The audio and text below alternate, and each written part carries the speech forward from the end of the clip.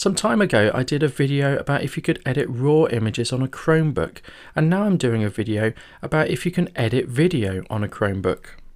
So I headed over to Google Play Store and I downloaded video editing apps, and I tried a few of them, but by far the best was PowerDirector by Cyberlink. So how well does a Chromebook edit video with PowerDirector? Well, it does it surprisingly well. To test this out, I edited a video completely with PowerDirector on the Chromebook, and I released it to YouTube so let's look at me editing on a Chromebook right now.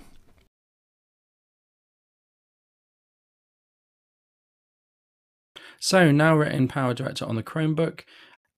If you have this on Android, then it probably looks fairly similar on your phone. You've got this notifications over here, which isn't really that useful. I would never touch that. So you can create a new project here. And if you create a new project, what's really good is you can do it in 16 to 9 or 9 to 16. So you can have vertical or landscape. But I've already created this and I'm actually going to do this video within Power PowerDirector. So I'm going to edit this. And here we have our sort of screen and it's really quite good in a Chromebook. It's quite big and we get, it's just nice to use really. So I'm going to import some media this is some of the footage that I used for my last video, which was reviewing the LG One for the Olympus TG5. So I can play it here and it plays full screen. And again, that's quite useful on, I'm going to stop that. That's quite useful with a big screen like you get for a Chromebook. And if you want to insert it, you just have to do that and it puts it in. One thing that's a problem though for, for my type of videos is I do a lot of talking and I want to see where I, I am talking. Well, I can't here because there's no sort of visual cues. Let's put it in again and I can drag it down to one of the sound channels. And this is one of the problems with it. I can't make the timeline any smaller at all. I can't zoom in or zoom out on a Android phone, which it's designed for, you can pinch to zoom. Well, that's great, but I can't pinch to zoom on the touchpad. The pinch and zoom on the touchpad doesn't work, and I don't have a touch screen. So that is one of the main disadvantages. So I've got to sort of click, hold, and then drag it into place, which I've done.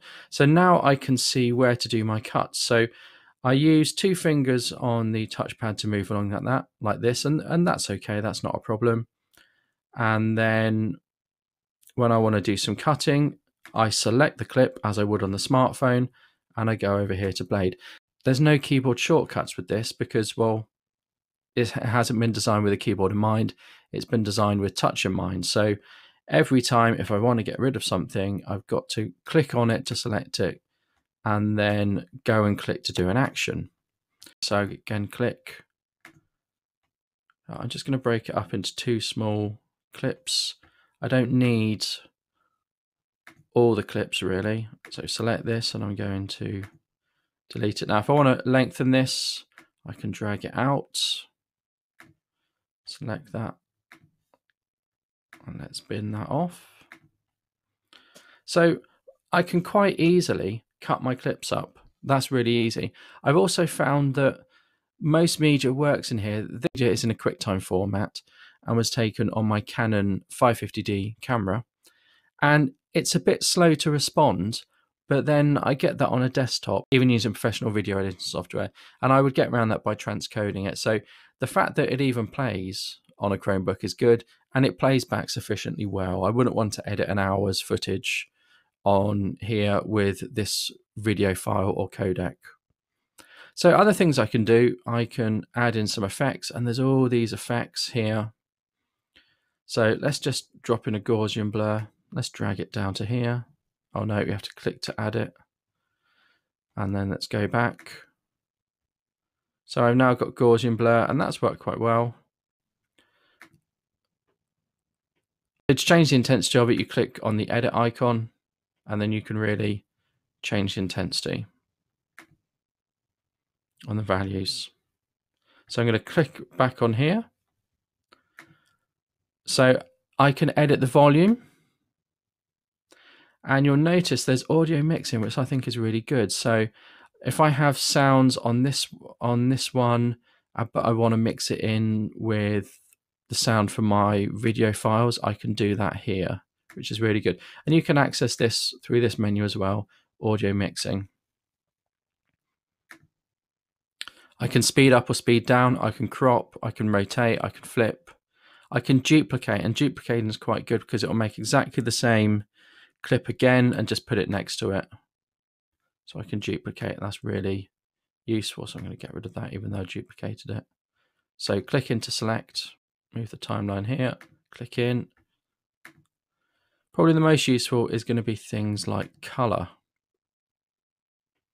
So here I can pick filters if I want to. Here are brightness, contrast, and saturation levels. We're not going to get huge video editing like shadows and gamma points and, and things like that, but I can at least save a clip if I need to or adjust it if I need to. So I can put it in black and white. That's probably the best black and white I'm going to get. Let's make it a bit brighter. There we are.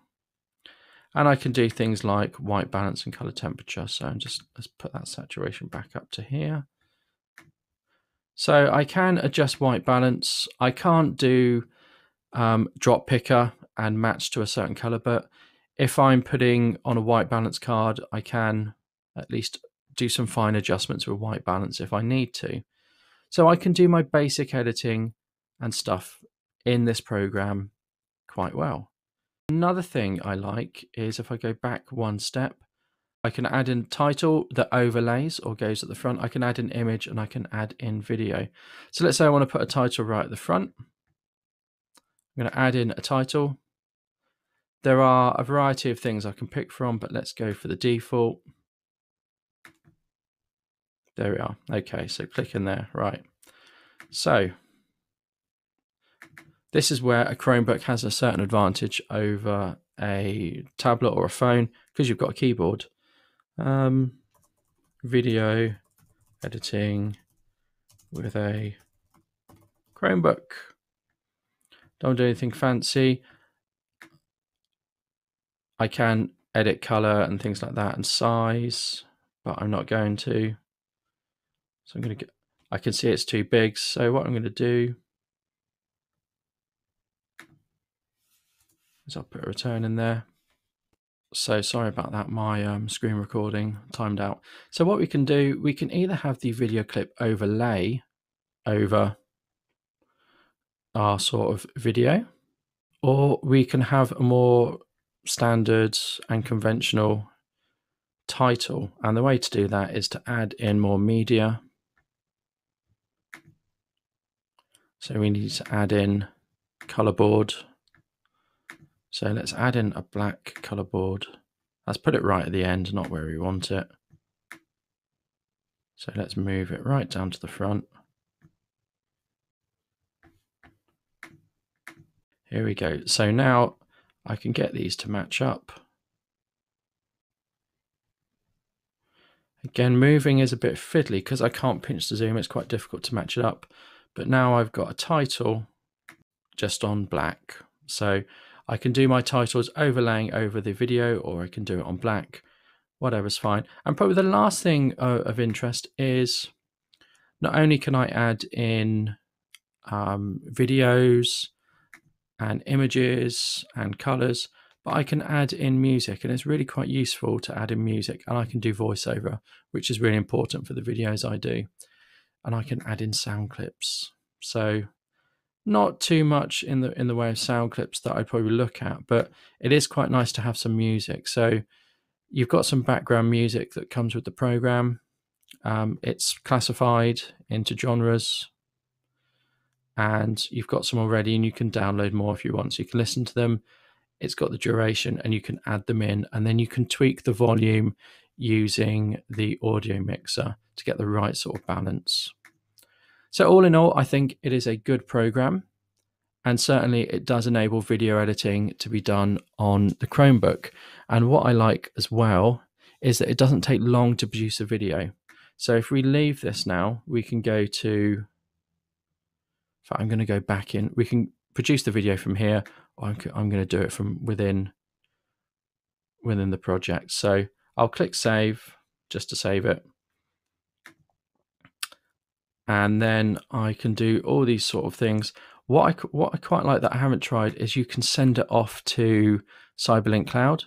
So I have Cyberlink on uh, my desktop PC, so that might be really useful to upload it there and then continue working it on the PC. So what I can do, I can just output it in full HD, HD. I'm not sure what the difference here is, or SD. I can set my settings. So I'm obviously going to put it on the best standard. Frame rate, can't do 25, which is annoying because sometimes I do do 25, but 30, 60, and 24 are fine. I'm not going to cry about that. Click OK and it runs, and it, it won't take long to output that. It's quite quick to output it.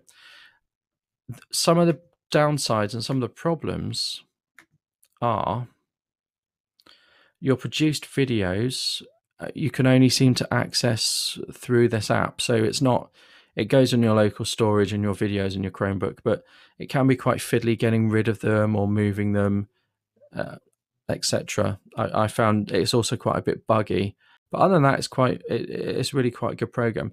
So let me know what you think. You, would you use a Chromebook to edit video?